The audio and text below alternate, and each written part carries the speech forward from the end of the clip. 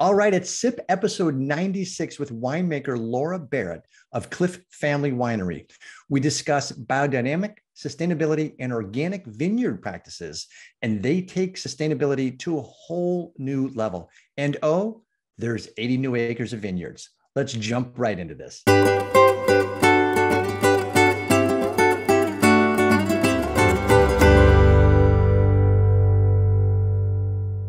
This is going to be an unbelievable episode. We have got an amazing talent this evening. My name is Martin Cody, co founder of Cellar Angels, your direct to consumer source since 2010 of some of the best wines coming out of Napa and Sonoma right now. We connect you to the winemakers, the people behind the projects, and we do it all because we know you don't have the time, uh, but we do. So, this is what we do. We actually have a chance to do things that we hope people are proud of. We do it for special reasons, for special people, in the hope that you also tell someone. So please invite them to sip and uh, we can have all fun together. For those of you drinking this week's wine, the Climber, we're going to get into that in a second. We will question this gentleman's sanity, Ron Koch, uh, climbing a rock inverted. Not certain why you wouldn't just take a staircase, but that's fine. Uh, this evening's guest is Laura Barrett of Clif Family. And Laura and I were just reminiscing about the first time, and you'll see it on the video in the website for the Clif feature, where we met in 2014 or 2015 when she first came to Clif. Uh, I was a bit heavier then, so we, I think this was in an April shoot right after winter hibernation in Chicago. Uh, it does not look pretty, so purple is not slimming, which is why I'm wearing black this evening. Uh, but for those of you, Cellar Angels, direct-to-consumer company and I mentioned it was 12 years of age, and you can buy this wine right now on the Cellar Angels website. So when you get to the Cellar Angels website, you can always click the logo and you will be immediately brought home. But when you go to shop and you go to the wines, you can see actually the sip kit. And the sip kit used to have Laura's wine. It has since moved on to four more wines. And you can see a special bottle here called BYOB because this is episode 96 this evening, and we are marching toward episode 100. So it's a surprise bottle offer for all of you in episode 100. Tonight, we are going to be showcasing the Climber, and it's a wine that uh, Laura's going to talk to us about. And without, this is that wine right here. Uh, 2019 Bordeaux blend of all five Bordeaux varietals. And before I begin, I do want to let everybody know that Bill B, I'm sorry, Jim B, Jim B answered the trivia question correct in roughly a minute and a half since it was posted. So the trivia question was grape skins impart color and blank into a wine. And the correct answer was tannin. There was at least 14 answers, and but Bill B was or Jim B, sorry, Bill. Jim B was first. So congratulations on that. We're going to get into the Climber in a second, but right now I want to get to our featured guest. Ladies and gentlemen, it gives me a great, great pleasure to welcome back to the program Laura Barrett of Clif Family Winery and talk about everything biodynamic, sustainable, organic, and climber and portfolio. Laura, it's so good to see you. Great to see you. Is this my third interview or is it my second? I can't quite remember. This, I believe, is your third. Okay. It is your second sip, but I also think you did one where it was meet the winemaker because there was a wine club. So sounds but, about uh, right. I'm a so pro this, now. you are an old pro, but I don't want to say old. You're a seasoned veteran. You are skilled. You've acquired all sorts of experience, knowledge, and wisdom, which is what happens when you've been doing this for a while. And you haven't just done this in Napa. So I would love you to reacquaint people with kind of start with you can go as far back as, as you want, but I want to know when you had that epiphany to think, hey, you know what? I kind of like wine. This is an mm-hmm. interesting, interesting beverage. How old were you? Where did it happen? Yeah, so my story, uh, my wine discovery really came from an academic place.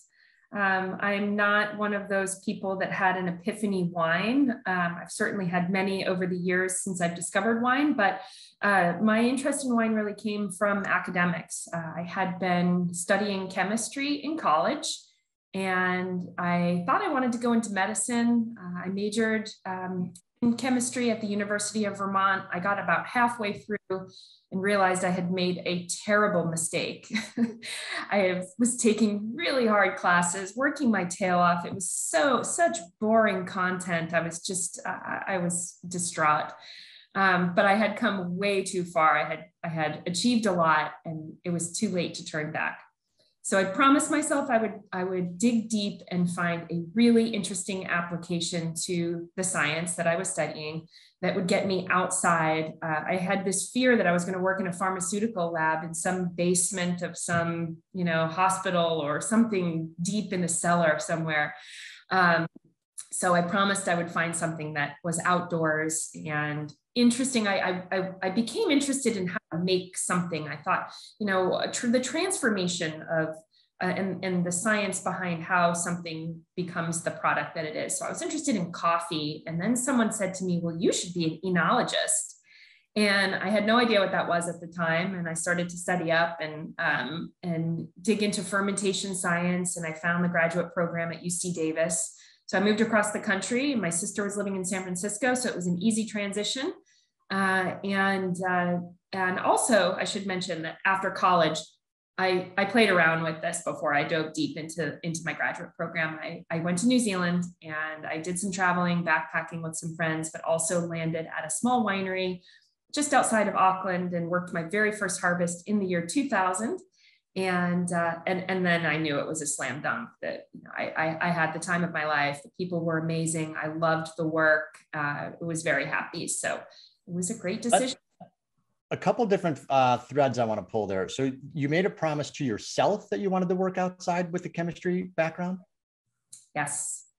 That's and so how did I, I like the coffee angle because uh, Bill B, who you know, uh, one of the best sipsters around, uh, also a huge coffee person who introduced Mission Control and I to a coffee plantation on the Big Island of Hawaii, where we now could, because when you, it's a little bit like wine, you get exposed to something really, really good and you don't want to go back.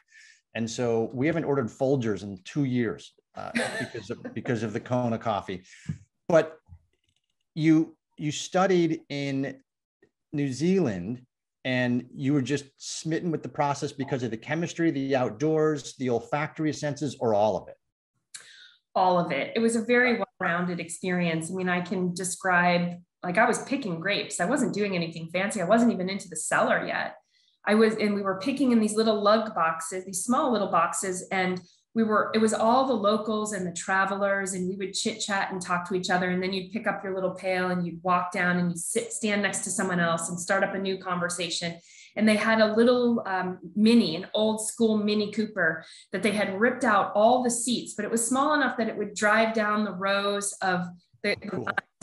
So we would throw our boxes in there and they'd pile up the grapes and the mini would go screaming down the vine rows and bring the deliver the grapes to the cellar. So there was just a lot of heart and soul in it that really just got me hooked. I love it. Uh, Rick, hello. Peter, hello. Juan, hello. Ed, hello. Great to see some new names. Uh, welcome to Cellar Angels SIP episode 96. And you will see some uh, familiar faces. For those of you that are new, they refer to themselves as, sip, as sipsters. They coined the phrase uh, many, many episodes ago, uh, but it has stuck. And so we're, we're appreciative of that. Fellow sipsters know Laura's wine. They had a taste of it in a wine club a few quarters back. So the move from Vermont to California, what year? Well, I graduated in 1999. Um, I took a little bit of time back uh, in my hometown in Massachusetts to kind of gather myself, and and then I I was in Australia and New Zealand in 2000. And wow. in my graduate program at UC Davis in 01, and I graduated in 03. So that's pretty quick. I've actually never that's, really said that. Yeah, that's fast tracking. I, I am amazed that you just graduated college and, and went off to New Zealand and Australia. I mean, that's fast. Super that was cool. planned. Like I knew I was gonna because I didn't do a semester abroad, um, and I knew I wanted to. So the travel was like was the travel was planned in advance, no doubt. I knew um, I knew I was going to take off for six six or six to twelve months post college. I'm jealous. All right, so you come, you you go to Davis, you graduate there, and and then did you have a job lined up post graduation in the Valley or anywhere? Yeah, so that's another fun story. Um, I, have all these stories. Well, I had worked a harvest in the middle of my graduate program at the Napa Wine Company, which is a custom crush facility. It's a huge place. And it was a really nice opportunity to, to network and to meet a bunch of people. Um, so I had my foot in the door there, and I had made the decision after that harvest that I wanted to work for a female winemaker. So I took a pen and paper back in the day, you know, the olden days, and I wrote a letter to my most well regarded, well respected female winemakers, 10 of them Heidi Barrett, Cathy Corison, Mia Klein, to name a few.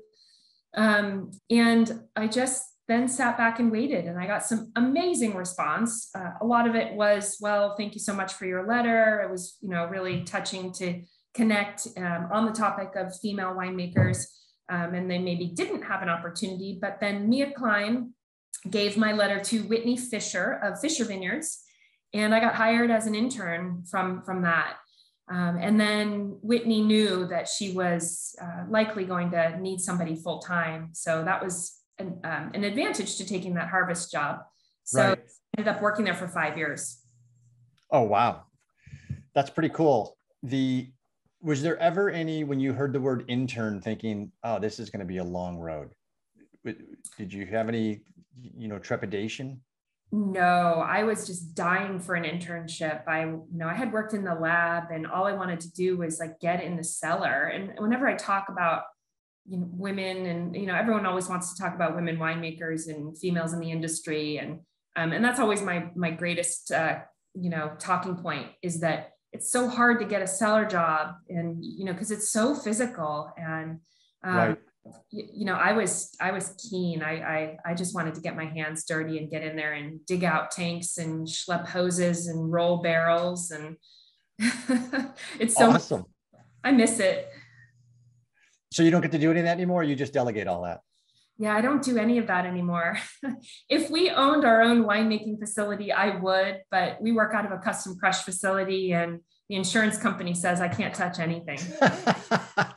yeah, no, no, no, no, no. We don't want this is our marquee player. She's not going to be on the forklift and unloading barrels right. from three stories up. Exactly.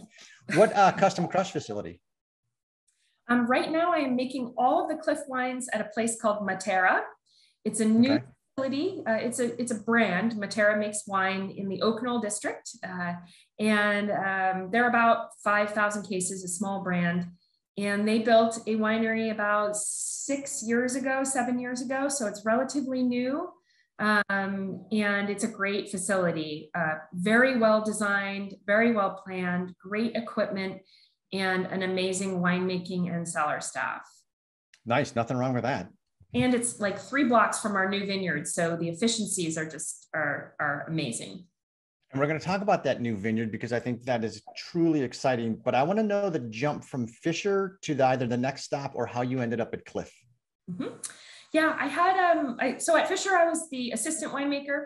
So I made a jump to head winemaker in 2008, and I worked for a brand called Casey Flat Ranch it was a family from Marin that had a 6,000 acre, really like a deer hunting ranch in the Capay Valley, which is officially Yolo County, but it sat right at 2,000 foot elevation at the Napa County border. So it was a bit of an experimental site for this family. They planted a 22 acre vineyard, not knowing exactly how things were going to work. Um, and I was their first winemaker. Uh, we made a lot of uh, Syrah cab blends. The cab it was warm there. It's a warm site. The cab didn't necessarily stand on its own. So we started blending it with Syrah and I made some amazing wines up there over the years. So I did that for seven years before I met Lindsay, uh, who's the general manager at Clif in 2014. Amazing. Seven years. And do you ever go back and taste any of those wines? Oh, yes, absolutely.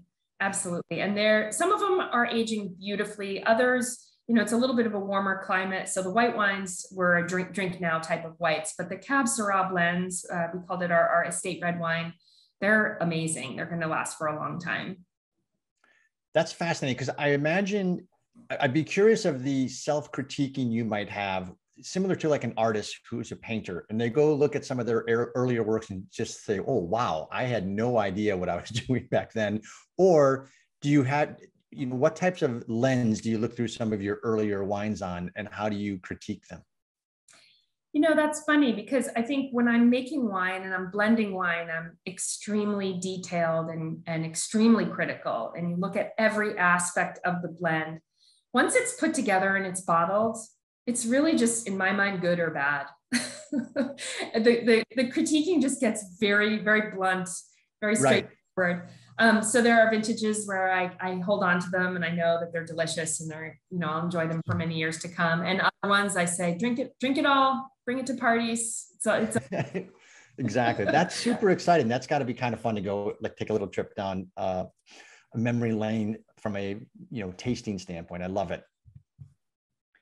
And the, the custom crush facility, out of curiosity, what is the total case production going through there? They'll do about 1,000 tons.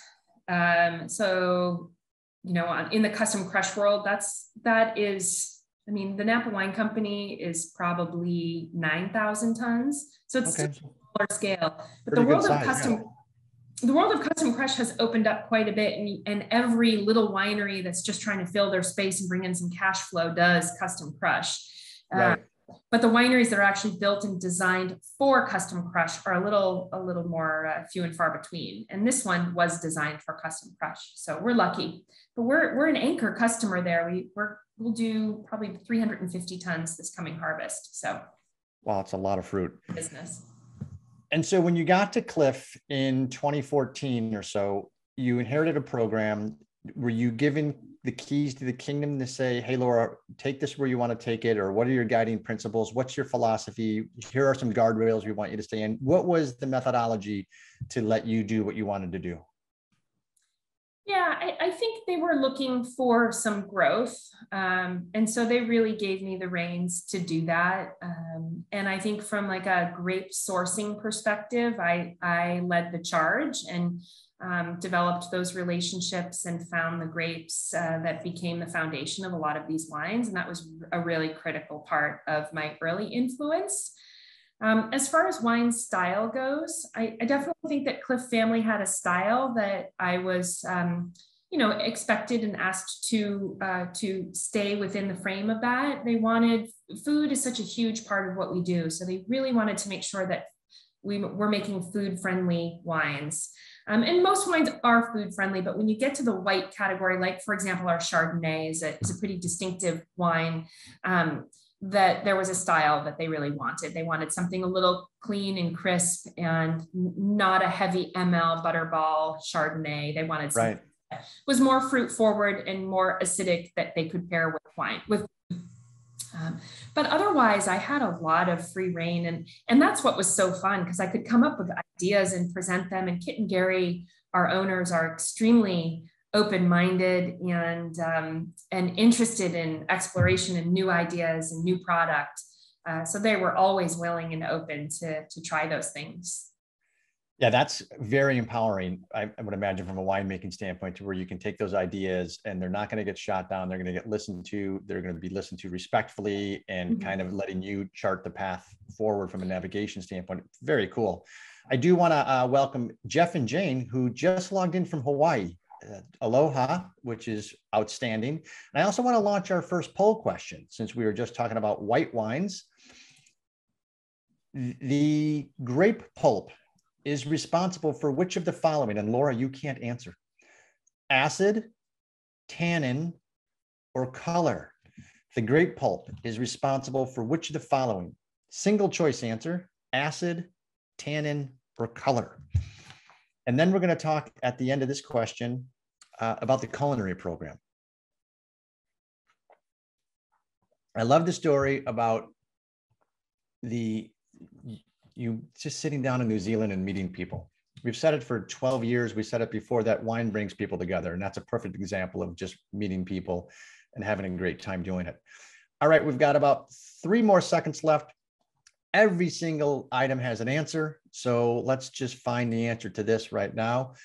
And we have seven folks that have chosen acid, one tannin, seven color. So seven our color and tan or color and acid are going to have a cage match.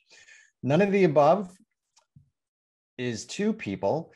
The correct answer is actually, you want to blurt it out, Laura? Acid.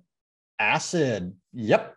Mm-hmm. The pulp is responsible for acid. The skin, on the other hand, is the one that's imparts the color and tannin. Um, actually, you know what? I'm going to go to the next question just for fun. There's only two. And this one, since we were just talking about tannin,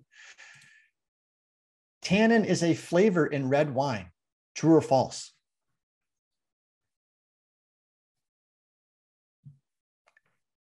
These are actually, truth be told, exam questions on the WSET level two course.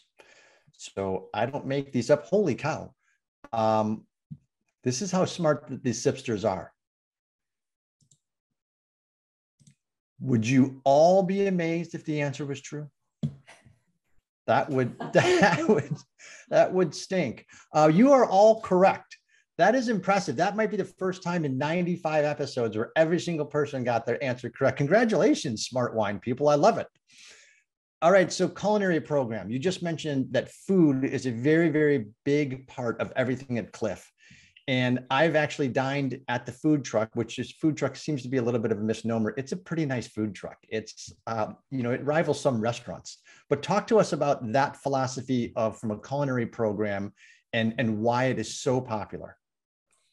So when Kit and Gary decided they wanted to have a make a wine have a winery, um, their interest and desire really stemmed from their experiences cycling in Europe, and they would go on these long bike rides. And they had a friend that owned a bruschetteria in, um, mm. in Italy, and they would they would all get together at the end of the day, you know, exhausted after riding you know, probably 30, 30 miles on mountain passes, and they would have an amazing meal at their friend's bruschetteria and a beautiful bottle of wine. So that's really where their interest in, in owning a winery came from. Um, so when we started making wine, Gary always wanted to figure out how to get food into our program. And mm. in Napa County, uh, the regulations are are tight. You know, it's really hard to get a permit um, in the health department, and you know, to serve food in your in your tasting room. So he's you know an entrepreneur and figures out how to make things happen. So he decided he was going to instead of trying to battle the permitting process, he was just going to try to get a food truck permit. And we have a commissary kitchen in the back where we do all the prep, and then we really just um, fire the fire the food on the truck and serve it. And uh, it's been a screaming success. So um, the goal was not necessarily to have a restaurant but to have um, you know a wine and food experience together um, and uh, it's it's been great we have now a full-time executive chef we have six wow. people that work in our culinary program. And that's a combination of staff that uh, work in the prep kitchen and also staff that works on the truck. Uh, and then there's also the our farm that is a huge piece of it. We have, and that's actually a photograph uh, behind Martin. There is that is the Clif Family Farm, and what you're looking at um, next to the grapevines is our orchard, and those are apple trees, plum trees, peach trees, and the vegetable gardens are just kind of off in the distance there. Yeah, right there, vegetable gardens. Um, and we bring the majority of that to the truck, and our chef works with our farm manager to uh, to plant and to use um, the things that we grow. And of course, it's certified organic. And then we also have a line of pantry items like sweet and savory jams, homemade hot sauces, nut mixes, chocolates, all sorts of food products that we make. Um, so the, our chef uh, directs the formulas for those, and oftentimes we partner with a third party to produce them. Um, so the food piece, uh, so, so for example, in the tasting room, when you come for just a wine tasting, you're going to get a cheese plate in front of you and it's going to have little dollops of our sweet and savory jams on top of them, Meyer lemon marmalade, um, apple butter, persimmon butter, uh, you know, raspberry preserves, strawberry preserves. Uh, we, ha- we make these this amazing, which would sound doesn't sound great, but it's a green pepper jam, and it is so good on a piece of brie. Like it's just it, it's amazing. It does sound amazing. Well, I think so it's super cool that you have, and this is one of the things I think that gets into the sustainability fact that we're going to talk about in a second. It's a good segue to that. But you have the culinary program and recognizing what a you know one plus one equals three type of scenario when great food is paired with great wine. And it's not just great food it's certified organic. You grow it yourself. The chef is overseeing what food items are going to get paired with what wines what the menu is going to be. And part of that is all kind of the philosophy of, of Gary and the five pillars that is important to Clif family. So educate folks on as it relates to sustainability, I think, but more importantly, as it relates to this is just how we conduct our business. What what are the five pillars? So Clif Bar was built on what we call the five aspirations. So it's all about sustainability, but it goes much deeper than just, you know, organic farming. And those five pillars are sustaining our brand, sustaining our business, sustaining our people, our planet, and our community. So we adopted that philosophy uh, with Clif Family Winery. And for example, um, we do something called a sip and support, where once a month we have a special menu and we partner with a nonprofit organization that is local. And 20% of the proceeds from that day uh, go back to the nonprofit. And that's an example where we support our community. Um, supporting our planet is, of course, organic farming and sustainable uh, farming and agricultural practices. Um, our people, sustaining our people is something that we all just that's why we work at Clif family winery they take such great care of us they really value our families and our health um, and we're, we're very well cared for in many different ways um, so it's really about taking sustainability to the next level and sustainability has become a word um, historically that uh, people have used just to check the box. When when a, a, customer will say, "Oh, do you farm organically?" They say, "Oh, no, no, but we're sustainable." And it's like, what does that mean? It can mean right. Planting some cover crops so that you're preventing erosion, but you're still uh, spraying Roundup at the base of your grapevines.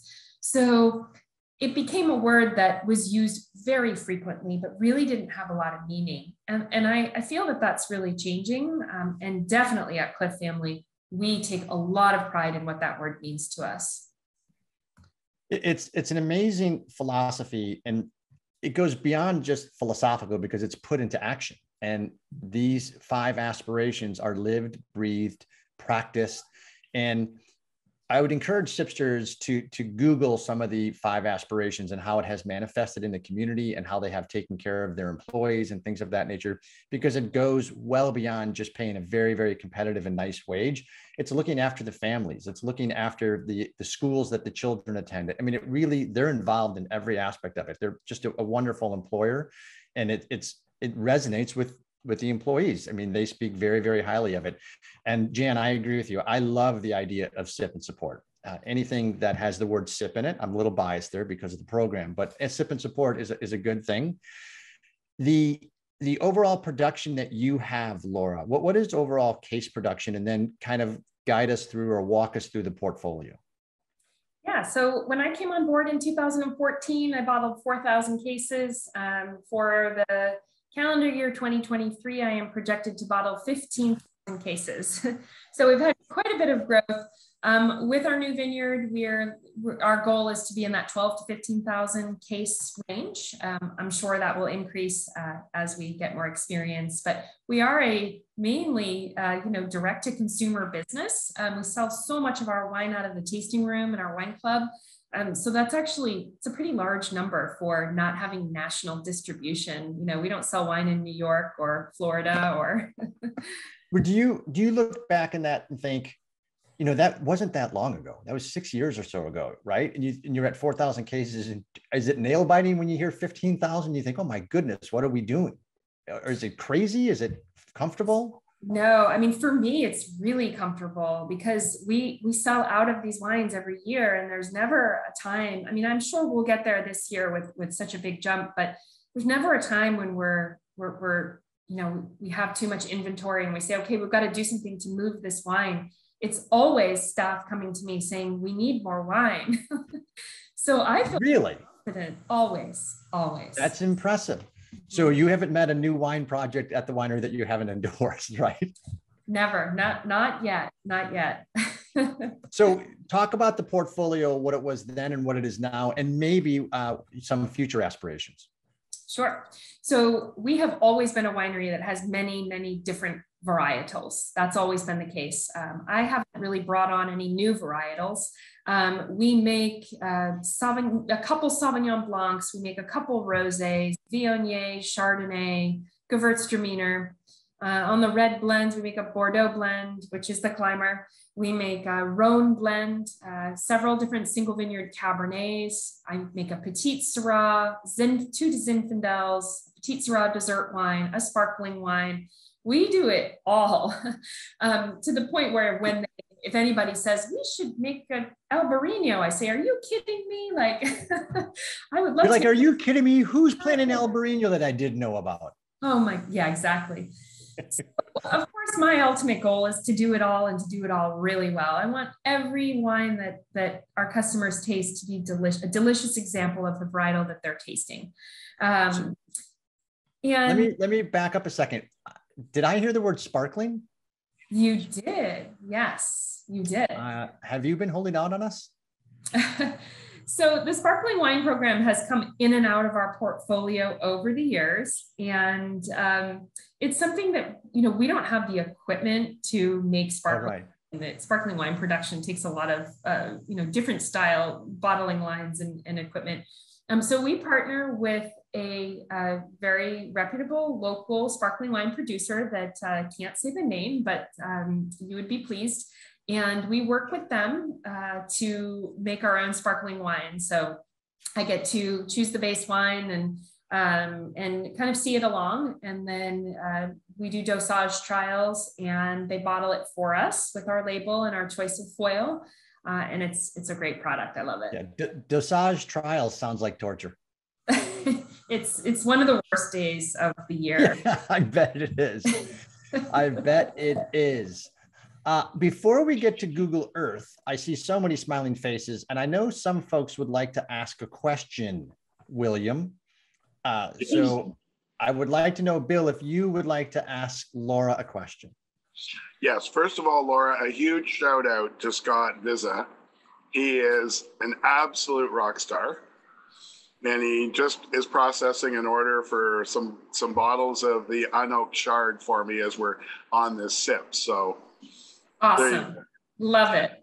Um, I have a particular interest in ESG and sustainability as a board member.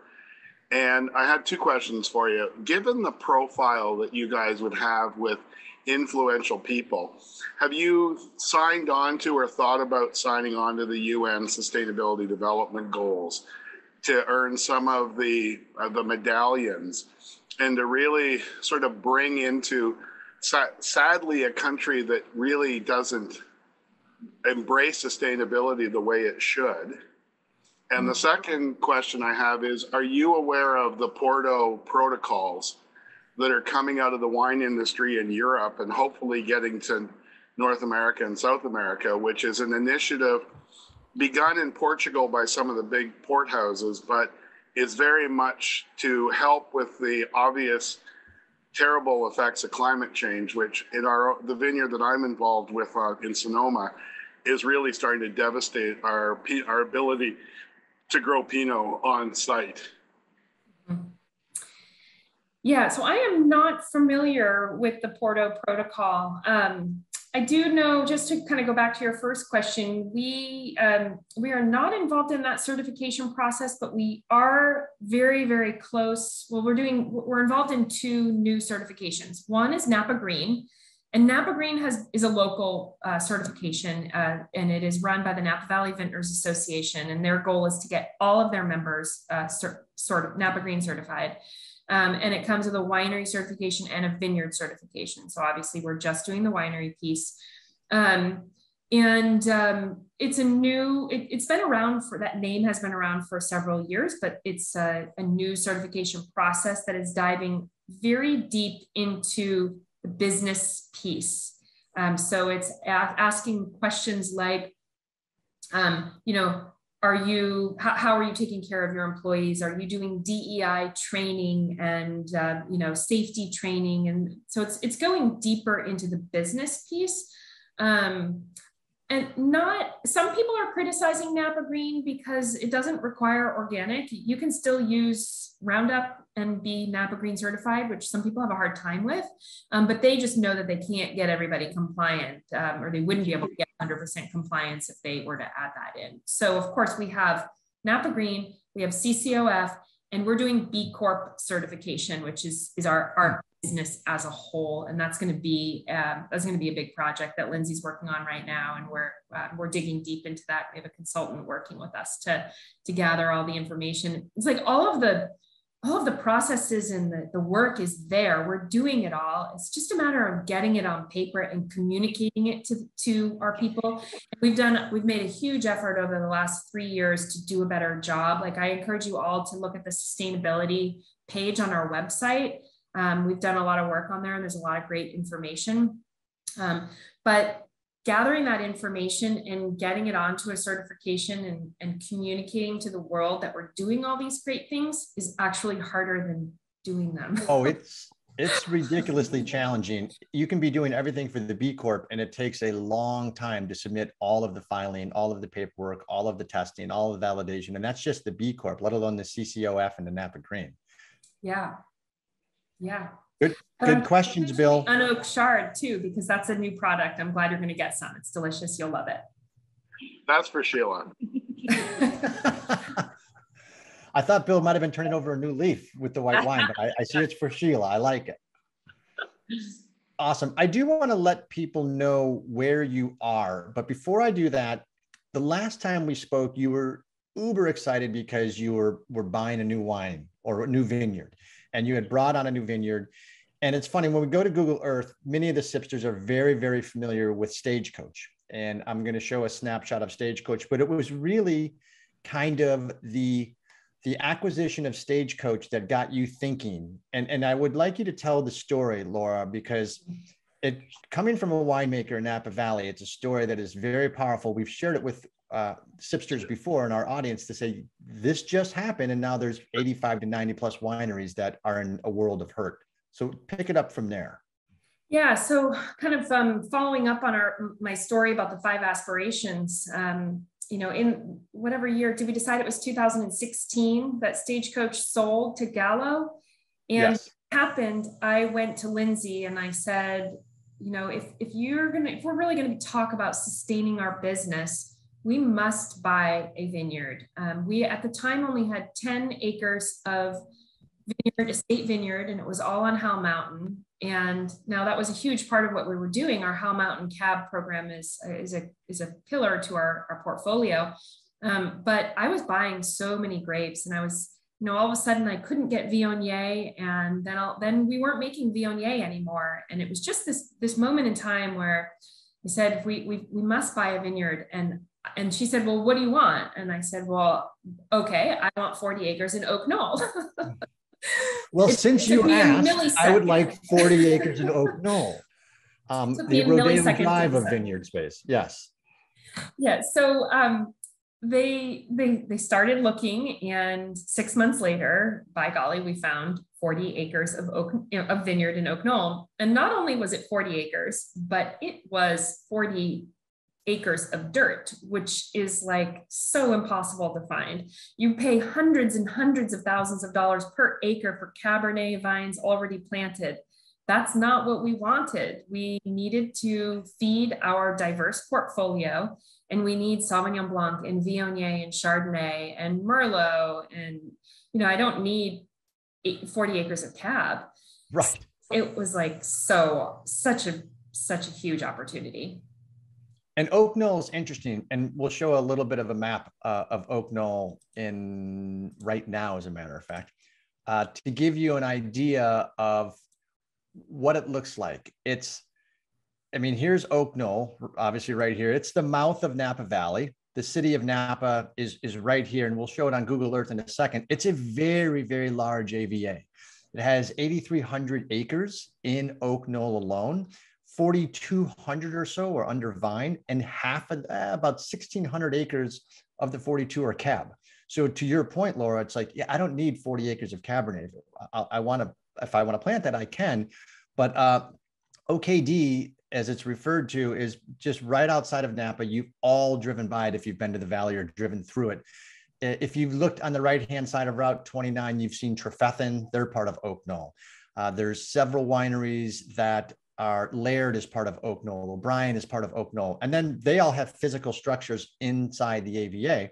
There's a bunch of wineries that source fruit from there or have a vineyard block like Laura does now, where they own land that actually don't have a physical structure. Uh, Clif doesn't have a physical structure that you can visit in Oak Knoll. Blackbird does not. So there's others there that have been sourcing some amazing fruit there that maybe own vineyard land there. But it started out at 40 acres and now it's gotten a little bigger. How did how did that happen? Did they make the mistake again of saying, "What else do you want"? That that was it. That was it. that six months later, the neighboring 40, 40 acre parcel, which had been up for sale right before ours was and planted quickly organically thank thank goodness um, and and that that buyer the, the person that owned that parcel purchased a large winery in Pritchard Hill and then decided to offload this investment so it came up for sale and so we bought that too so now we have 80 acres of wow new newly planted vines in the Oak Knoll district. And I have 10 different varietals planted. I have Sauvignon Blanc, Viognier Chardonnay. I have the five Bordeaux varietals, Cab, Cab Franc, Merlot, uh, Malbec, Petit. I have Petit Syrah and Zinfandel. So the only thing that I'm missing from my wine portfolio, my wine making portfolio, is Grenache and Syrah and Gewürztraminer. There probably is uh, a vineyard for sale. In Mendocino County, where I need all that to come from. exactly. Well, so now, and none of the fruit from these 80 acres is has come online yet, has it? Well, um, I my or first maybe, was 2021. Yeah. So okay. I harvested all of the grapes from there. And of course, it wasn't a lot of fruit. Each some of the blocks produced nothing, or they produced fruit, but we made the decision to to drop it. And some of them produced a half a ton per acre, and then maybe some of them produced one and a half tons per acre. So it was low yields, uh, which is totally normal and typical what we would expect from young vines. Um, mm-hmm. Um, made all those, I made all those lots, and um, it's been awesome to taste. I have bottled uh, three three of them, or four of them. I bottled a rosé of Cab Franc, I bottled the unoaked Chardonnay. Uh, I bottled Oak Knoll District Sauvignon Blanc and Viognier.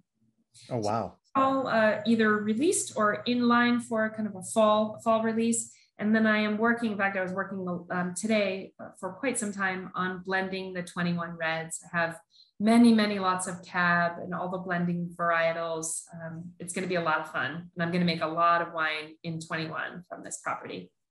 Well, I now know how you're going to go from you know 11,000 to 12,000 to 13,000 to 15,000 right. ca- eh, cases and, and beyond. The Climber is one of those wines that I will be making from this new property. Well, we talked a little bit about sustainable eh, and and what it means not only from too often it's a checkbox on a list of requirements and like you said people are still using Roundup. We've also talked about it from the five aspirations one of the other things that people are hearing a lot about, and it seems to be growing in popularity, is biodynamic. So I'm curious, given now how well you know the fruit sources and how well you're going to know uh, the new 80 acres, how does this type of farming, biodynamic, organic, or sustainable, how does it translate and manifest into the bottle that the consumer will be enjoying? Mm-hmm. Yeah, I, I like to describe it. I mean, well, putting the word organic on your label is really hard to do. So these, although we're farming organically, we're not technically making organic wine. So our wine is not certified organic, but our grape grape source, our vineyards are. Um, making organic wine becomes very challenging because there are a lot of TTB regulations uh, that um, take away a lot of my opportunities to make the wine delicious, put it that way.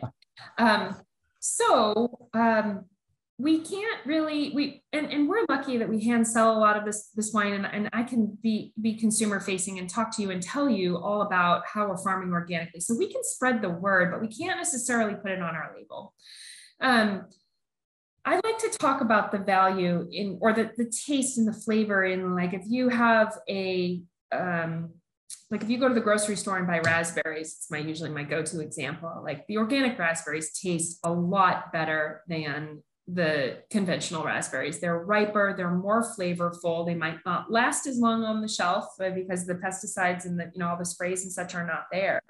Um, but they definitely taste better. And it's just much more, you know, we all buy them because we know they're better for us, right? We know we're not poisoning ourselves with pesticides and herbicides and horrible things that we put into the ground. Um, so in the final product, I think you know, we, we don't have an experiment where we have a control and we can say, oh, taste this, it tastes better than the conventionally farmed, which is why a lot of farmers can't wrap their head around, you know, converting from conventional farming to organic farming because it's not necessarily measurable in a controlled experiment where you're, you're, you're comparing flavor, um, uh, you know, the flavor of the wine. Um, but I think we know we have healthier soil. Um, we know we have more biodiversity. We have cover crops, we have bees, and we have healthy pests, and um, we have good, healthy growth, which is putting nitrogen into the soil. So we know these things from a farming perspective. Right. Uh, and really it's it's about um, it's more about for me the the heart and soul of the process of organic farming where i just i feel better about what i'm doing um, because of how it's impacting my life and our farm workers. And um, and i do believe that the fruit tastes better but like i said i don't I, we don't really have a controlled situation where i can show you prove that to you but well, we, feel it, we feel it in our in our bones. A, a couple, a couple things I want to expand on, and you're right. It's almost you know when you go to the farmers market, you're buying it direct from the farmer who's been farming it without pesticides, and but hasn't paid the investment of what it's going to be required to actually put organic on the raspberries, organic on the strawberries. You, you notice a difference in the color. You notice a difference in the taste.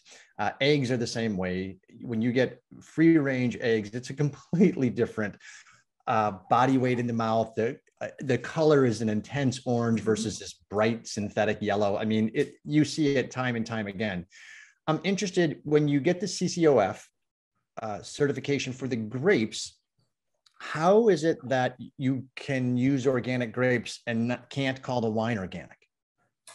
Yeah, so in order to, to certify your wine organic, the facility has to be certified organic. So you have to go through this process um, with CCOF to make sure that you're they have certain criteria to certify the facility. And there are restrictions on what you can use in your wine. So right. I might not be able to use a certain kind of enzyme. I have my sulfur, which is my preservative in the wine, is restricted. I'm only allowed, I think, 80 part per million total um, uh, sulfur free SO2 or total. And um, that's where it becomes really difficult as a winemaker because I, you know, I need this wine to uh, be stable in the barrel for 22 months, um, a red wine, and that's a long time. And there is bacteria and spoilage organisms that I have to battle. Um, so a lot of times these wines that are organic um, and and natural wine has become a buzzword where those people are making wine organically maybe not certified, but they use this term natural, they can be right. spoiled, they can be cloudy, they can be faulty. Um, and it's because we can't use the tools that we have in order to preserve the wine the way that we have learned to do so. So either the, the TTB needs to lighten up on some of those parameters, um, or we need some new product to help us um, preserve the wine uh, and prevent spoilage and, and that, that fall under the CCOF um, certified. But in the meantime, we're trying to make some changes where we can put the word organic and there's one there's one way around it. You can make an ingredient statement on your label and we are working on this. Um, we hope to do it uh, next year uh, where you make an ingredient statement and the first ingredient is organic grapes that's where we're headed. I like it. Very smart. Allows Very us smart. to get it on the bottle. Um, but it doesn't mean that we're certified organic wine product. The um, Karen has a couple ideas about you buying carbon offsets. So uh, I see a side mm-hmm. transaction here, which is mm-hmm. fine. Uh, yep. And the you do have to probably create a new certification. Uh, I also think it's funny, Laura, that you know you can go probably as far back or as recently as 15 years or so ago, or 20 years ago at the max. And if your product was labeled organic, it was on the lower shelf of any store in the health food aisle and no one even looked at it. And, so now it's it's the buzzword of the century with regards to food and wine. Uh, so it's it's come full circle. I like what you're doing as it relates to creating a, a new label which is a, standpoint of okay this is one way to, to combat it ttb probably does need to, to address a few things uh, but before someone tears my head off and we need to get to google earth and and show some things um, because this is what it's all about showing people, show and tell. Uh, we've been talking about the new winery or the new vineyard, and uh, Jeff has had a Mai Tai, so he's screaming Google Earth.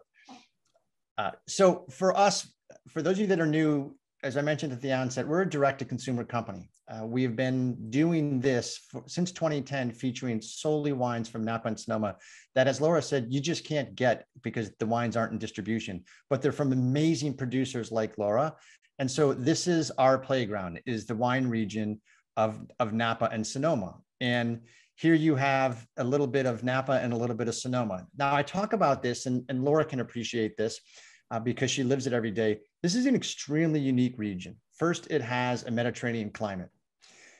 3% of the world is Mediterranean climate. And, and Napa and Sonoma County are, in fact, classified as a Mediterranean climate. What we also get into is the dirt. And, and the dirt is pretty spectacular because there's over 400 different series of dirt on the globe, and almost half of them reside in these two counties. And so there's also 33 different soil types and great, I think it's 14 different soil types reside in Napa and Sonoma. So when you talk about a, a blank canvas to produce wines, you're looking at some of the richest mineral earth on the globe. And we talked about Stagecoach being kind of a catalyst as it relates to when Stagecoach got sold. This is the Stagecoach Vineyard, and, and 92, 93, Laura can check my math, small wineries that were sourcing fruit from mm-hmm. there were essentially out of business because Gallo had purchased it for 220 some odd million dollars. They were they were letting the contracts expire, and once the contracts expired, they were not renewing them. So those those winemakers, the Chad Angelos and the many other wineries that several of you have, have been exposed to on Cellar Angels were, were gone. Um, then the pandemic hit. Then there's been some changes, but I think it was a great thing for you, Laura, from a business perspective to say, hey, uh, Gary, we need to solve this problem because this could happen to us if our vineyard sources go. We have to own something.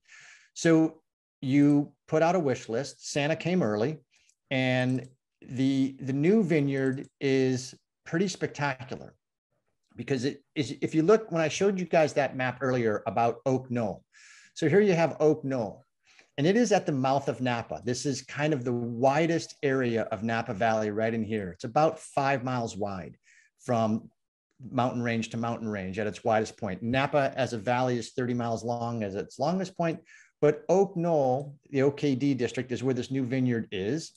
And I will click on that and then we'll zoom in a little bit closer because it's right off of Route 29.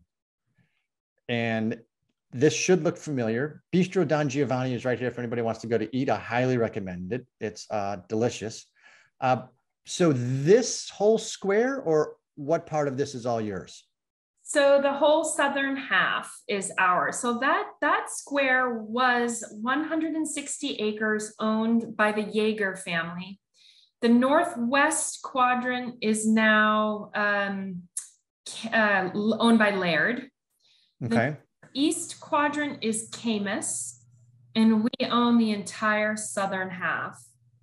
And that reservoir in the middle is, uh, is shared by all four parcels and actually um, is one of the few reservoirs in the area that has this very valuable straw that sucks water from the Napa River when we're allowed to. There are strict parameters, but we can fill that reservoir when the river reaches a certain height during a certain time of year. Um, so that is extremely valuable. That that is a valuable straw.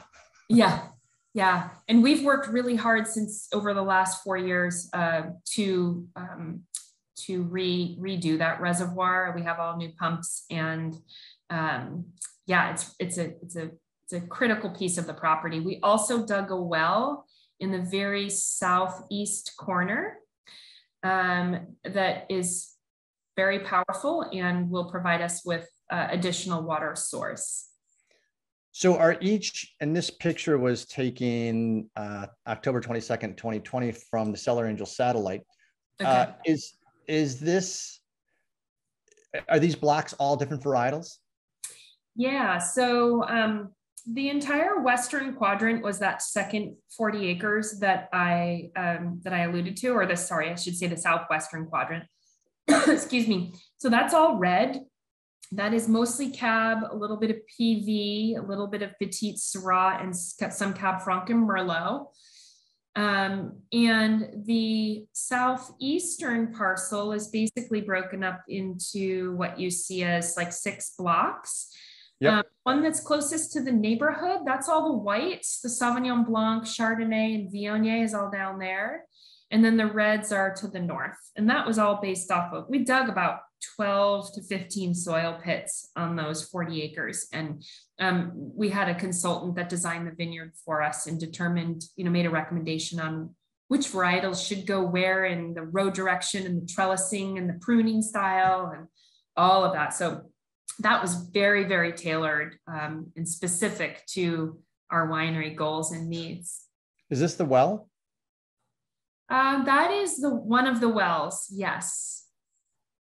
Wow. So yeah. It's impressive. Now let's yeah. take folks to the tasting room way up valley. Just on the outskirts of the town of St. Helena, or actually in St. Helena. And this is fantastic because it is, you said expanding. Uh, the food truck, I think, is right here. Correct. Visible. I don't know when we sent the satellite over, but I'm glad they got a picture of this. Um, and so you can get something from the food truck. This is a covered outdoor tasting area.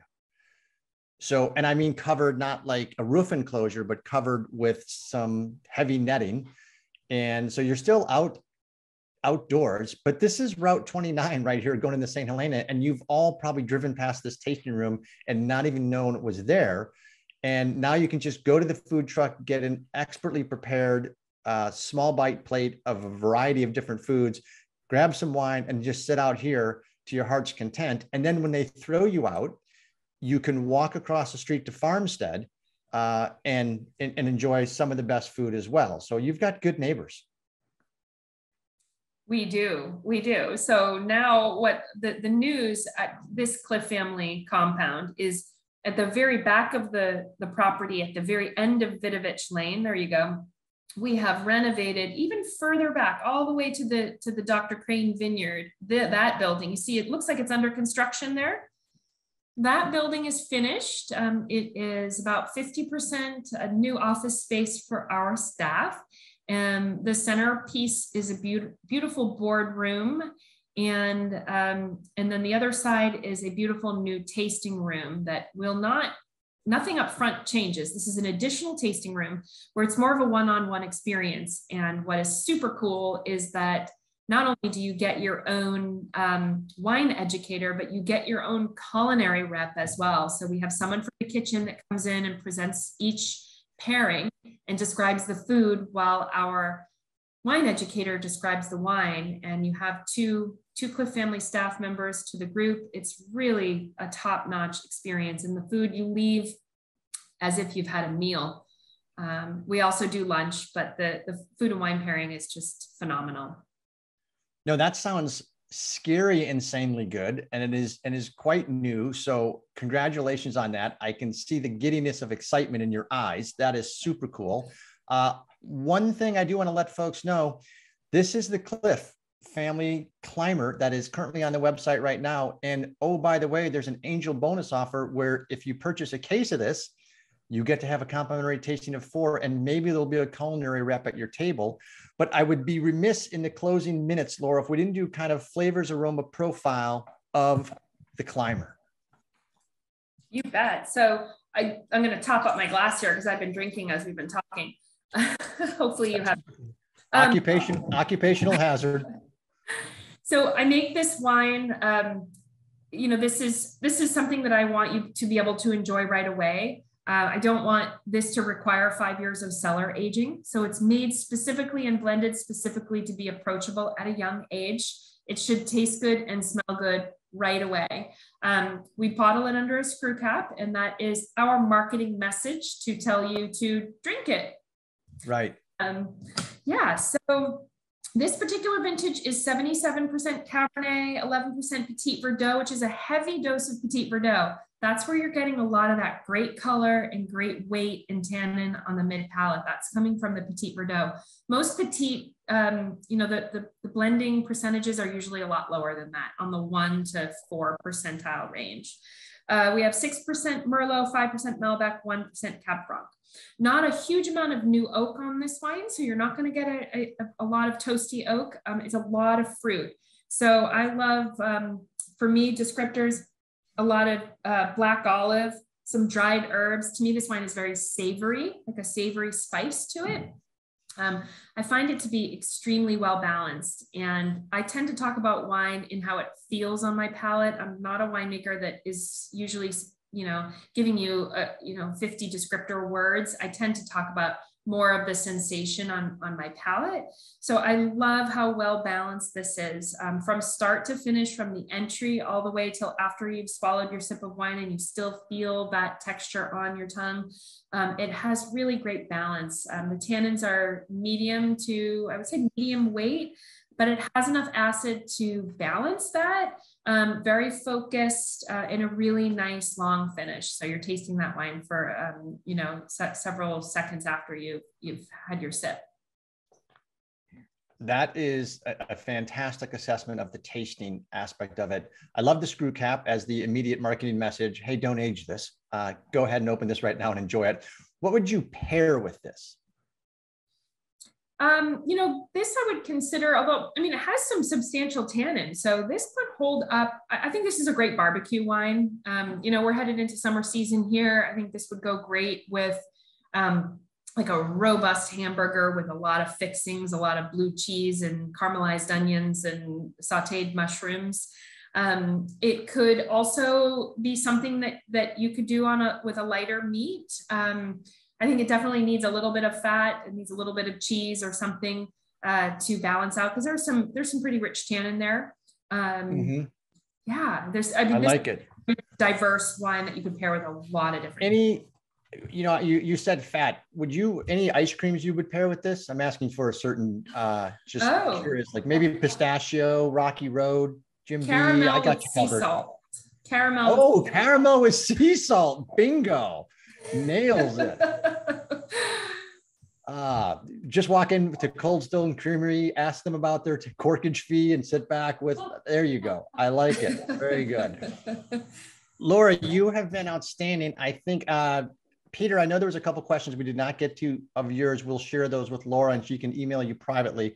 So Definitely. that will be uh, good. I like the question about cork, and I like the question about warming climates and varietal selection. So we'll, we'll get that answered offline the thing that we need to recognize and tell everybody about SIP episode 100 is indeed coming up. So please send us your pictures of your wine cellars. A couple have come in already. And oddly enough, they did not come in with invitations to visit in person because some of these cellars are pretty extraordinary.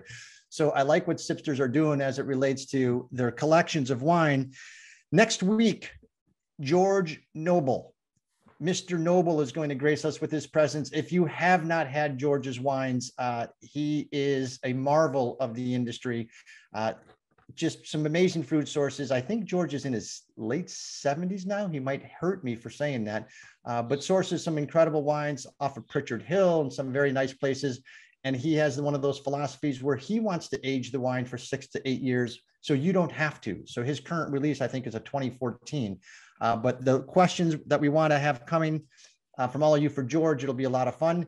I can't thank you enough, Sipsters, for your participation each week to help us make a difference for wineries like Clif Family because every single time you decide to buy from the marketplace, join the wine club, or do both, you basically are sending the message that you want to make a difference and, and essentially kindness matters and kindness of laura to spend her evening on friday with us uh, we cannot say thank you enough it is so good to see you again laura so cheers to you cheers thank you so much this is always so fun i love this Thank you. Everyone stay safe, be good to one another, and bring friends next week. We're moving towards 100. Have a great week and all. Cheers.